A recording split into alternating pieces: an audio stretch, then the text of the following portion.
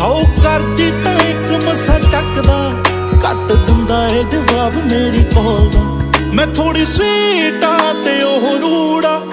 ਗੱਲ ਕਰੇ ਜਾਂ ਨਾ ਕਰੇ ਉਹਦਾ ਮੂੜਾ। ਮੈਨੂੰ ਪਤਾ ਆ